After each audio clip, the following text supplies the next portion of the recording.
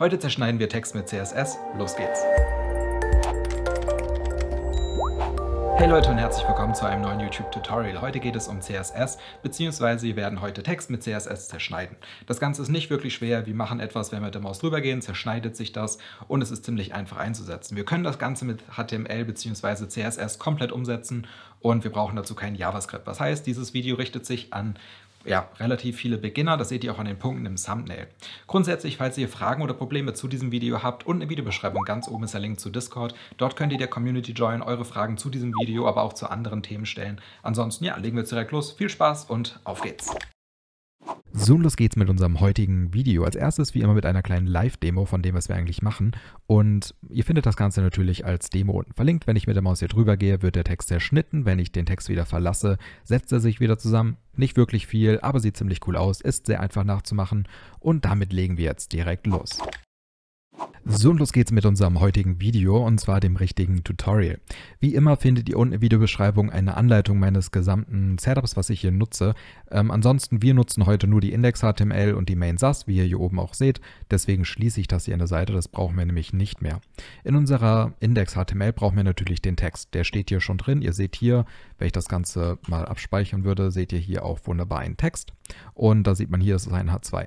Allerdings kann man das so einfach nicht nutzen. Was heißt, wir müssen unseren Text hier in einen Span packen. Was heißt, wir können den Text nicht einfach so verwenden, sondern der muss hier drin sein und wir brauchen den nicht nur einmal, sondern wir brauchen den mehrfach und zwar dreimal. Und zusätzlich brauchen die unteren beiden hier eine Klasse und zwar einmal Top und die un unterste ähm, Sektion im Prinzip Bottom. Das hat im Prinzip den einzigen Grund, dieser Text hier, den fassen wir nicht an. Der setzt praktisch unsere Box eine entsprechende Weite, eine entsprechende Höhe, so groß wie halt unser Text eben ist. Und diese beiden Boxen hier werden wir später so behandeln, dass wir die übereinander stapeln. Also alle drei Ebenen werden später exakt übereinander liegen. Und wir werden diese beiden Ebenen, nämlich Top und Bottom, ähm, zerschneiden und dann später mit ähm, CSS wieder zusammensetzen. Ihr könnt theoretisch dieses Video auch erweitern und das hier nicht nur in zwei Teile zersplittern, sondern in 50. Dann müsstet ihr hier ganz viele Spans haben, die das jeweils zersplittern. Man könnte das Ganze jetzt ziemlich aufwendig mit JavaScript lösen, dass es beispielsweise per Zufall zersplittert wird. Man könnte sich einen kleinen Algorithmus schreiben, der einen die Splitter wieder zusammensetzt und so weiter. Aber das wäre richtig krass. Also wenn das jemand von euch macht, verlinkt das einfach mal unter der Videobeschreibung. Das würde ich gerne sehen. Wir machen das jetzt mit zwei, also ohne unten und oben. Und mehr müssen wir hier in unserem HTML gar nicht machen. Das speichern wir jetzt ab. Und jetzt sehen wir hier, wir haben unseren Text dreimal. Das nächste, was wir machen, wir gehen hier in die Main SAS. Hier habe ich natürlich immer meinen Boilerplate-Text schon. Den brauchen wir nicht. Das heißt, ich mache uns hier mal ein bisschen Platz. So, und jetzt brauchen wir nämlich hier ein bisschen ja, CSS. Und zwar als erstes nutzen wir einfach unsere H2, um die ein bisschen zu stylen. Und als erstes sagen wir mal Color White. Das heißt, wir wollen eine weiße Schriftfarbe haben. Wir sagen Text Transform. Ups. Transform. So, Uppercase, was heißt, wir wollen alles groß haben, das passt sich jetzt auch direkt an. Dann sagen wir hier Font Size 5 Rem, was heißt, wir wollen das Ganze auch richtig groß haben. Das könnt ihr natürlich anpassen, wie ihr wollt. Das Wichtige ist jetzt nämlich Position Relative, was wir benutzen müssen. Und wir wollen hier auch Transition All 250 Millisekunden, was heißt, wir wollen, dass es sich animiert. Und das nächste, was wir machen, ist, wir sagen Span. Und das erste, was wir in diesem Span sagen ist, ups, wir gehen hier nochmal rein und sagen Span Top, Span Bottom. Was heißt, wir wollen jetzt nur die Spans ansprechen, die entweder die Klasse Top oder die Klasse Bottom haben und denen wollen wir jetzt etwas mitgeben. Und zwar sagen wir denen als erstes Position, nicht Relative, sondern Absolute. Dann sagen wir Top 0 und Left 0. Wenn wir das Ganze jetzt abspeichern, seht ihr, dass das jetzt nur noch ein Text hier sichtbar ist, aber das stimmt nicht, sondern wir haben insgesamt drei Texte, die hier sichtbar sind. Wenn ich jetzt hier drüber gehe, seht ihr auch, dass die alle genau übereinander liegen. Und deswegen sieht, sieht das so aus, als wenn es nur ein Text ist, aber es sind eigentlich drei. Das nächste, was wir brauchen, wenn wir das jetzt soweit animiert haben, sagen wir, wir wollen jetzt diese Texte mit Opacity 1 anzeigen, den Span im Allgemeinen aber mit Opacity 0 ausblenden. Deswegen sehen wir jetzt hier immer noch dasselbe, aber unser ursprünglicher Span also dieser hier, der uns nur die Größe unserer Box definiert und dafür sorgt, dass unser Text nicht umbricht, dieser ist sichtbar, also nicht mehr sichtbar, nur noch die beiden unteren sind sichtbar. So, was machen wir jetzt als nächstes? Wir haben jetzt hier soweit alles gestylt und können jetzt hier hingehen und unsere Transition auch auf unsere beiden Spans legen, damit auch diese später animiert werden. Außerdem müssen wir hier jetzt sagen äh, z-index. Das heißt, wir wollen die Ebene, dass die immer sichtbar ist, egal was kommt. Und das machen wir einfach mit äh, Span 5. Was heißt, damit überliegt das über allem drüber und sollte ohne Probleme funktionieren. Das nächste, was wir jetzt brauchen, wir müssen Span Top und Bottom gezielt einzeln ansprechen.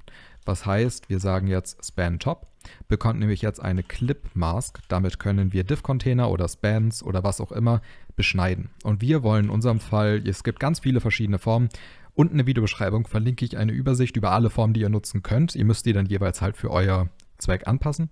In unserem Fall sage ich jetzt, ich möchte gerne ein Polygon nutzen und das beschreibt sich so, dass die obere Ecke unseres Polygons, wir haben vier Punkte, die wir frei vergeben können, die soll genau in der oberen Ex äh, Ecke unseres Cs sein, also genau hier.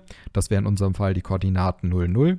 Dann von hier der zweite Punkt soll auch hier oben ganz in der Ecke sein. Was heißt, wir sagen, okay, geh 100% auf die äh, rechte Seite, aber ganz oben. Dann der nächste Punkt, sagen wir, okay, auch ganz auf der rechten Seite, aber nur noch 30% von oben. Und der untere Punkt, also der, der hier sein soll, da sagen wir, okay, 0% von rechts, aber bitte 60% von oben. Das Ganze müssen wir jetzt natürlich einmal kopieren, das heißt einmal markieren, nächste Zeile, einmal wieder einfügen und fügen hier statt Top die Klasse Bottom ein. Und jetzt, wenn man richtig nachgedacht hat, muss man natürlich den unteren Text exakt spiegelverkehrt schneiden. Was heißt, wir beginnen hier nicht mit 00, sondern mit 0 und 60. Das heißt, ups, wir spiegeln exakt das hier oben, nur von unten, dass wir sagen, okay, nehme hier bitte nicht unsere, nehme den ersten Punkt bei 0 und 60 von oben. Dann den nächsten Punkt bitte bei 130. Das heißt, wir gehen jetzt ja von hier so schräg hoch, dass das irgendwo hier bei dem Ausrufezeichen ist. Sagen also hier 30 Prozent und sagen hier 100 auf 100. Was heißt, unser dritter Punkt soll hier unten sein und unser vierter Punkt soll bei 0 und 100 sein. Das heißt, der soll ganz unten bei dem C hinterlegt werden. Man kann jetzt natürlich das hier noch ein bisschen schöner anpassen. Vor allem, wenn man mit mehreren Formen arbeitet, können wir zum Beispiel uns hier einfach sagen, ähm, zum Beispiel Point A, sagen wir 60% und hier sagen wir Point B 30% Jetzt könnten wir hingehen und sagen, okay, wir nehmen jetzt statt unseren 60% die wir hier oben vergeben haben, sagen wir hier 60, hier 60 und dann haben wir unseren Point B. Zack. Und damit ersetzen wir jetzt hier unsere 30er. Und jetzt haben wir die Möglichkeit, wenn wir das abspeichern, es später dynamischer anzupassen. Aber es passiert jetzt noch nichts. Wir haben jetzt aber unseren Text wirklich zerschnitten. Also der besteht jetzt nicht mehr aus ja, einem Teil, sondern wenn wir jetzt hier reingehen und hier drüber gehen, sehen wir, oh, sehen wir gar nicht, wird gar nicht angezeigt. Egal, ist auch nicht so wichtig. Ähm, wir müssen jetzt das Ganze natürlich noch animieren. Und dafür sagen wir und hover was heißt, wenn wir in unserem H2 sind und darüber hovern, dann soll etwas passieren. Und zwar sagen wir transform. Äh, transform. Warum macht es das nicht? Hm, komisch. Sagen wir transform, sagen hier rotate. Das heißt, wir wollen das Ganze ein bisschen drehen und sagen einfach minus 5 Degree. Wollen wir das Ganze, also die gesamte Überschrift, mal so ein bisschen drehen, wie ihr vorhin hier in der Live-Demo gesehen habt. Und dann nehmen wir hier unseren Span Top zack, und sagen hier transform translate und sagen hier jetzt, okay, wir wollen das Ganze nach links rüberziehen mit minus 10 und ein bisschen nach oben mit minus 5. Und das Ganze kopieren wir uns jetzt einmal, fügen das hier unten wieder ein. Natürlich mit Bottom das Ganze auch noch und sagen hier, das Ganze wollen wir rüberschieben und ein bisschen nach unten ziehen, speichern das Ganze ab und wenn ich jetzt mit der Maus hier drüber gehe, sehen wir, das Ganze wird zerschnitten. Aber wie gesagt, wir haben das jetzt hier dynamisch gestaltet, was heißt, wir könnten das jetzt beliebig anpassen. Wir können ja zum Beispiel hier sagen, wir wollen das auf 10 und 90. Es muss halt immer zusammen 100 ergeben. Wir könnten theoretisch das Ganze sogar noch mehr optimieren und sagen, dass wir einfach nur 10% vergeben und die restliche Schnittmenge passt sich an. Das wäre natürlich noch optimaler. Aber wenn wir jetzt hier mit der Maus drüber gehen, seht ihr, wie sich die die Kurve quasi verändert, wie wir das Ganze schneiden. Und ihr könnt das jetzt über diese beiden Punkte hier wunderbar regeln und euch beliebig anpassen, so wie ihr Lust und Laune dazu habt. So, das war schon wieder für diese Woche mit diesem Video. Wenn euch das Video gefallen hat, vergesst nicht einen Daumen hoch zu geben oder einfach einen Kommentar unter das ja, Video zu schreiben. Ansonsten sehen wir uns nächste Woche mit neuen Themen wieder. Falls ihr diesen Channel unterstützen wollt, findet ihr unten aber auch noch Amazon Affiliate oder andere Affiliate-Seiten. Und ansonsten, ja, wie gesagt, bis nächste Woche und ciao.